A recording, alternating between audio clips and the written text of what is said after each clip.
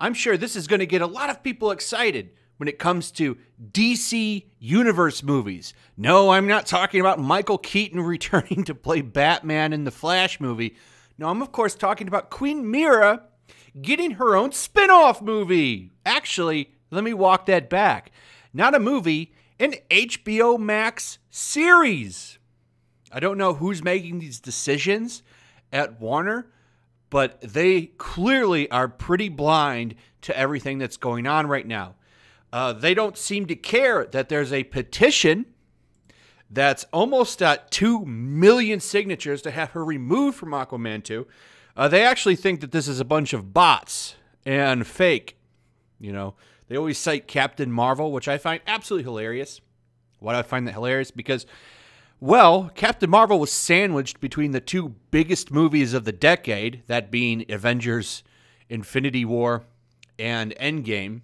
I mean, I don't even think that movie would have been as big as it was if it wouldn't have been sandwiched. But, you know, what do I know? I, I, I could be wrong on that. And if I am, I'll admit that. But this is a little bit different.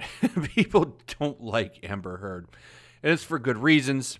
Everything that's happened with JD. And, you know, there's been a lot of stuff. She's been caught in all kinds of lies, particularly when she said, well, no one's going to believe you, Johnny, because you're a man, and all the shenanigans that happened in England. I'm not going to get too much into that. But it's not just this. We can head over to Amber Heard's 2020 takeaway video that she did for Access. Uh, that's now cert- that's now sitting at 432,000 dislikes. You can't really ignore these things, Warner, but they are. They think it's a bunch of bots and trolls, and they're very much underestimating. I think. I think they're really underestimating how disliked she is. I could see a lot of people canceling their subscription over HBO Max. I don't know. That might be a long shot, but I really don't think there's going to be a big demand for this. A lot of the rumors have said that they're going to double down on her. There was a rumor on this spin-off series before.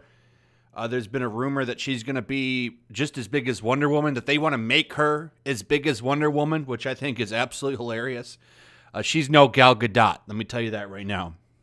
So let's go over this a little bit. It's claimed that Amber Heard is getting her own HBO Max series for Mera which will spin off from the Aquaman movies. YouTuber Grace Randolph claims the rumor is true and says the Mera HBO Max series will mostly take place on land. Randolph previously said that Amber Heard's role in Aquaman 2 will be drastically reduced, said to be because of the controversy involving JD, with Randolph offering the Mera series will explain why Mera isn't a big part of the sequel. Grace Randolph can be hit or miss. I think this is true. I really do.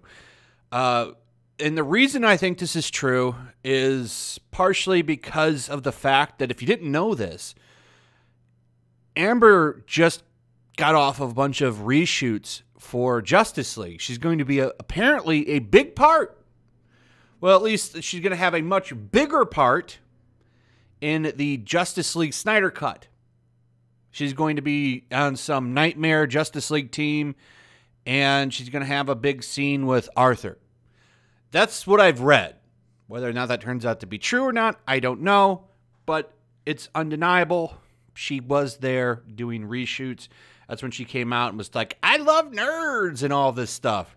It was really cringy. Uh, I think this is true, and I think that they really do want to push her up and make her the next Wonder Woman uh, because, well, she's got the part already. She's a young, pretty actress, and they think that that will sell subscriptions.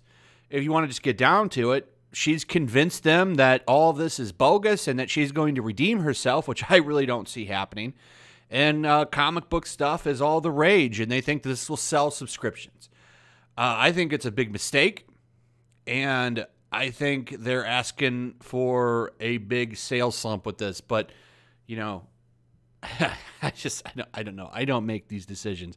I just think this is true. I could be wrong. I hope I am wrong. I like her to be removed completely from the movie and never a part of another comic book movie again because I don't like many of you I don't like her. But I do believe that she's getting this show. It's just my opinion. Uh, hopefully, I'm wrong. But yeah, Amber Heard sticking around, and then they go on to talk about her being in reshoots and stuff like that. And the rest is mostly a quote, a quote from her. Uh, but yes, Randolph is hit or miss on some things. I think that she's likely right on this one. And what a stupid move to not just give her a movie part, they're giving her a series. So everyone that was jumping for joy that she was getting her part reduced, this apparently this Mera spin-off show is going to explain why. So not only is she going to be in Aquaman 2, because she's still going to be in, and even with a reduced part, she's getting her own show. So, you know, Warner doubling down on AH and continuing to give JD the finger. Though I do think at the end of it all, he's going to get the last laugh. I do think his his career will probably rebound a little bit through indie movies, and then when all this dies down, after the next trial is going to be a while too, because apparently there is another trial that's going to involve her suing him, and I don't know if this is going to take place at the same time or after the suit he's he's got on her in Virginia. I don't. It's getting all so complicated. I've been reading through this. This just dropped today. I'm still kind of going through it, but this is going to be an ugly legal mess for a long time, probably for another two years. So I don't know where this is going to go, but apparently Warner Brothers uh, they think we're all a bunch of bots. You know, she doesn't really have anybody that doesn't like her, despite evidence that says the contrary. So I, I don't know, man. What a weird, what a weird mess this has all been. Anyway, that's it, guys. Let me know what you think about all this. I'd like to hear your thoughts. Also, leave a comment, like, share the video. Make sure you're still subscribed. Hit that notification bell, and I'll see you guys on the next one. Peace. Also, if you want to help support the channel, check out my Teespring store. There's a link in the description. You can find some merchandise in there that you might want to check out.